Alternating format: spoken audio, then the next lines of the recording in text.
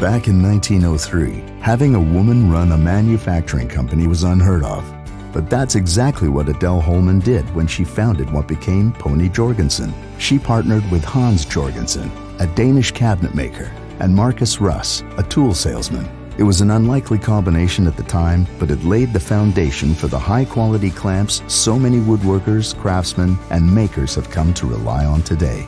At Pony Jorgensen, clamps without compromise isn't just something we say.